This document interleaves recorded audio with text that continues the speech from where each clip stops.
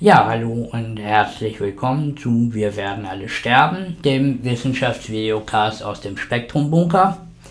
Heute geht es um geklonte menschliche Embryonen, die gerade in der Presse rauf und runter gereicht werden. Zum Anfang die schlechte Nachricht.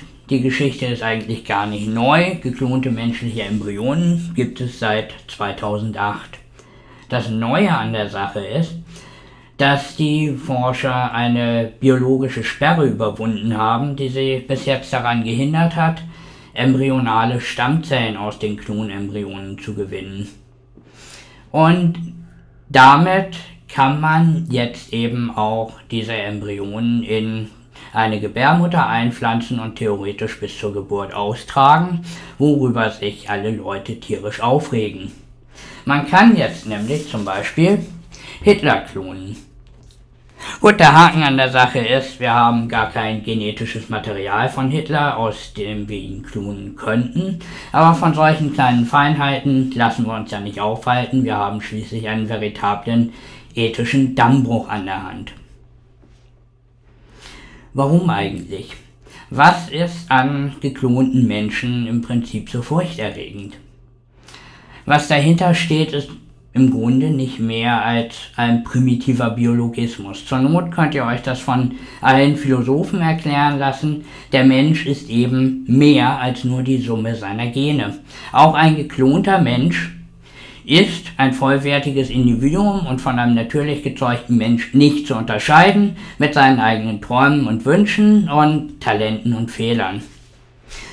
Dessen ungeachtet kommen jetzt in allen Kommentarspalten die Schwachhirne aus den Löchern und fabulieren was von rechtlosen, geklonten Sklavenarmeen, die für irgendwelche bösen Unternehmen in den Fabriken schuften.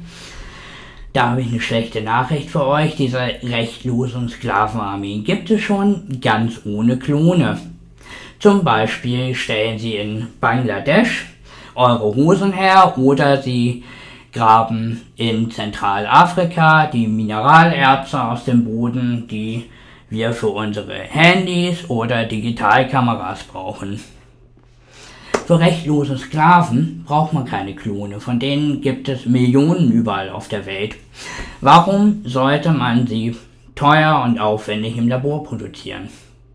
Oder, anderes Beispiel, die große unbesiegbare Klonarmee aus Star Wars. Der Haken an der Sache ist, Klonen erzeugt lediglich eine genetische Kopie. Das heißt, wenn man eine große Armee aus unbesiegbaren Supersoldaten klonen möchte, muss man zuerst mal als Vorlage einen unbesiegbaren Supersoldaten irgendwo herbekommen. Ich wünsche euch viel Spaß beim Suchen. Und abgesehen davon kann man eigentlich nur betonen, auch ein geklonter Hitler hätte eben nicht das angeborene Bedürfnis, direkt nach dem Frühstück mal eben in Polen einzufallen. Und auch ein geklonter Albert Einstein würde wahrscheinlich eher Schuhverkäufer werden als nochmal theoretischer Physiker. Da liegt eben auch das Problem mit den Designerbabys, vor, dem sich, vor denen sich allen, alle so fürchten. All die tollen Dinge, die Eltern bei ihren Kindern so gerne hätten, wie zum Beispiel mathematische Begabung oder einfach Intelligenz oder dieses oder jenes Talent. Dafür gibt es keine einzelnen Gene, die man einfach ausschneiden und irgendwo einbauen kann und dann haben wir den neuen Albert Einstein zur Hand, sondern all diese Eigenschaften sind im Genom sehr komplex angelegt. Wie das funktioniert, weiß man heutzutage noch überhaupt nicht und noch viel weniger, wie man jetzt das in irgendeiner Weise in irgendwelchen Babys designen kann. Und dann ist natürlich nochmal eine völlig andere Frage, was ein solcher Designermensch dann aus der, der Veranlagung in den Genen überhaupt macht. Es ist einfach so, genetischer Determinismus ist Quatsch. Man kann Menschen nicht kopieren, man kann Menschen nicht designen. Damit muss man sich abfinden. Das ist gut so. Ja, und was ist mit den ganzen tollen medizinischen Anwendungen der Stammzelltechnologie, die dieses Ergebnis versprechen soll? Ja, das Problem daran ist einfach, das Ergebnis kommt zehn Jahre zu spät.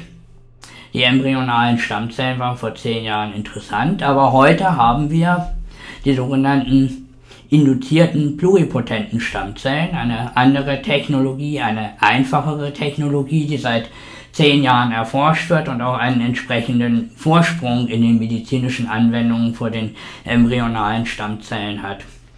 Also im Grunde sind die Pressemeldungen über diese, über diesen Klonfortschritt so ein bisschen so, als wenn jetzt auf allen Titelseiten die Schlagzeile auftauchen würde. Wissenschaftler entwickeln ein Telefon, das ins Internet kann.